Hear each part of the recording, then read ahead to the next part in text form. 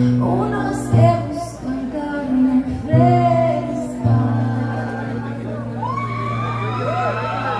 you.